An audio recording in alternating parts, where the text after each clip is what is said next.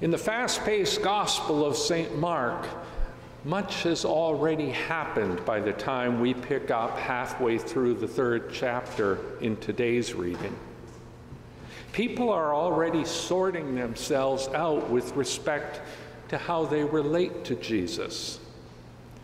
Broadly speaking, there are four groups the crowds. The crowds are made up of curious and fascinated people. They are looking for what they can get from Jesus healing. We've heard he had cured lepers, driven out evil spirits, restored a man's hand that had withered. They see Jesus as one who makes people's lives better. They see Jesus as good. Helping people is a good thing. What he is doing is very interesting and might prove beneficial to them or someone they know. Jesus to them is a bit of a celebrity, someone to keep their eyes on. The second group the religious leaders of the day, those who are heavily invested in the Jewish religious institution, they are wary of Jesus. They see him bending Sabbath rules, healing people on the Sabbath, picking grain on the Sabbath. They make note that Jesus and his disciples do not follow the fasting rules of religious people. Jesus responds, It's not time for fasting, it's a time for feasting because the bridegroom himself is present. The religious leaders question his association with tax collectors and sinners unclean people like the lepers. In today's reading, we heard that they are questioning his power over unclean spirits. Perhaps, they say, he is drawing on satanic powers. You see, exorcism comes from having either a stronger demon or having God's power. That's how you drive out demons with a more powerful demon or by God. Jesus rejects the accusation on logical terms, that house divided argument we heard. And he speaks of an unforgivable sin against blaspheming the Holy Spirit.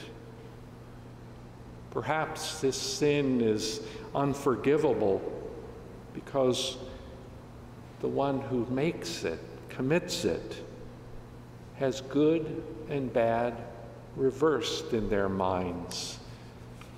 Maybe they are beyond hope. The third group, friends and family. They are beginning to believe what they are hearing some say about Jesus. He's gone out of his mind. He's mad. Now, in antiquity, the most basic social organization was family. And Jesus, we hear, radically redefines what a family is. He says his family are those who do God's will. But let's give Jesus' mother and brothers and Jerusalem's scribes and Pharisees the benefit of the doubt. They all may have wanted, more than anything else, to do God's will. So may we in pew and pulpit. We want to do God's will. But the trap ever before us is to define the kingdom's boundaries and the will of God according to what is true, what is right.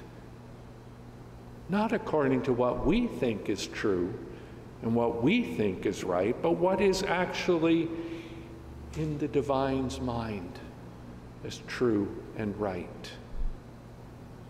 Discerning God's will isn't easy.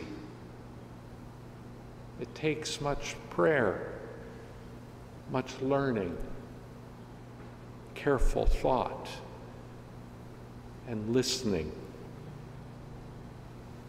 Which leads us to the fourth group those who are followers of Jesus, committed disciples, prepared to walk with Him, to learn from Him, to listen to Him, to be changed by Him.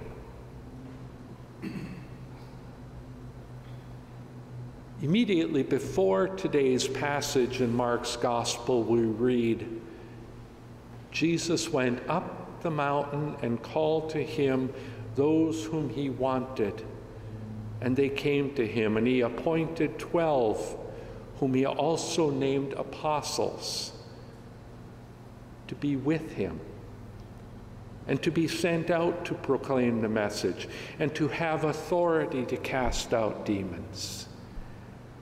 Jesus appoints 12. These were 12 who had already spent time with him, were listening and watching him. It seems that they were already on their way, having chosen to follow him.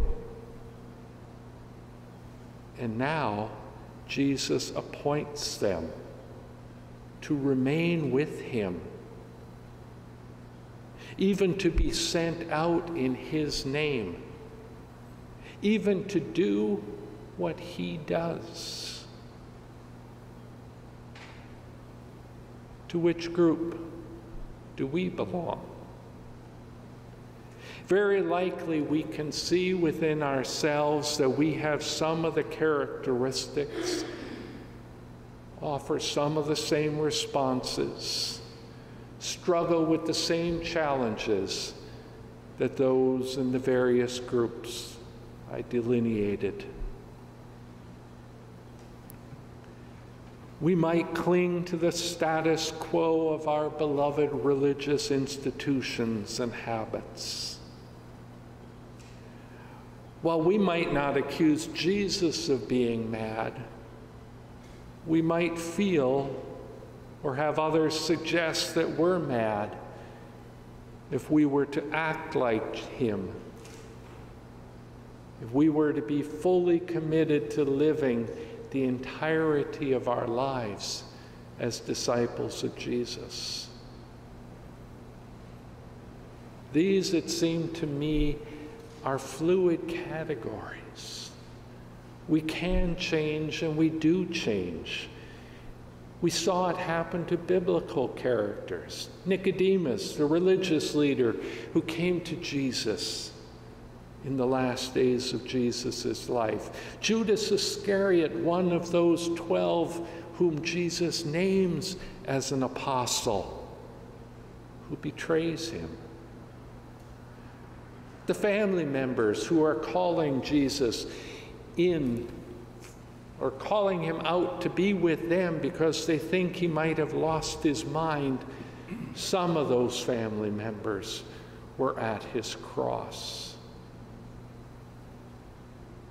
Certainly, some crowd members came to follow Jesus, variously falling into and out of doing the will of God. wanting to do God's will, Howard Thurman offered a prayer. Howard Thurman was an American author, a philosopher, a theologian, a Christian mystic, an educator, and perhaps best known as a civil rights leader. As a prominent religious figure, he played a leading role in many social justice movements and organizations during the 20th century in which he lived. In 1944, Howard Thurman co founded the Church for the Fellowship of All Peoples in San Francisco.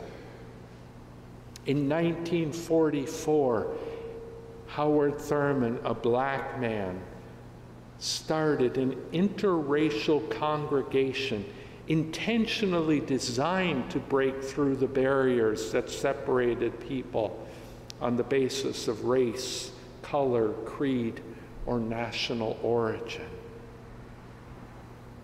Surely some thought him mad in that day. But he prayed this prayer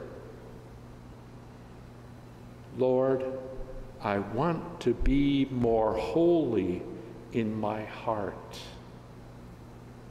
Here is the citadel of all my desiring, where my hopes are born, and all the deep resolutions of my spirit takes wings. In this center, my fears are nourished, and all my hates are nurtured. Here, my loves are cherished, and all the deep hungers of my spirit are honored without quivering and without shock. In my heart, above all else, let thy love and integrity envelop me until my love is perfected and the last vestige of my desiring is no longer in conflict with thy spirit. Lord, I want to be more holy in my heart. What are our loves? What are our desires? Like Thurman, perhaps we too need to recognize that it's a mixed bag our heart, our loves, our desires. Like Thurman, it should be our prayer that our hearts be made holy. I think that is the prayer we make every Sunday when we say together, Lord, have mercy upon us and write both these thy laws in our hearts. That is to love God and to love our neighbor.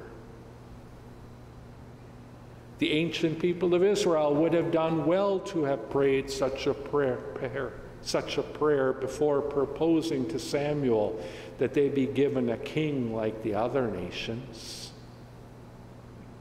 St. Paul's heart must have been transformed in the spirit of this prayer, so that he was transformed from an angry man hell bent on destroying the early church to become one of the greatest builders of the church, pouring out his life for the sake of others.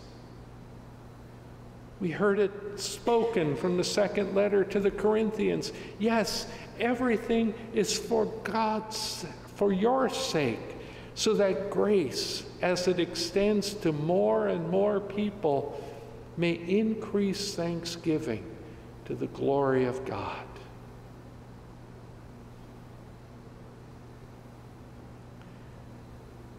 St. Paul prays that his heart may be holy.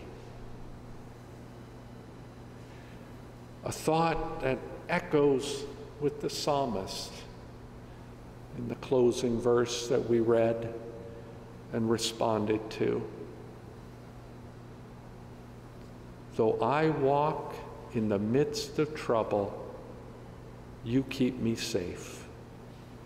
You stretch forth your hand against the fury of my enemies. Your right hand shall save me.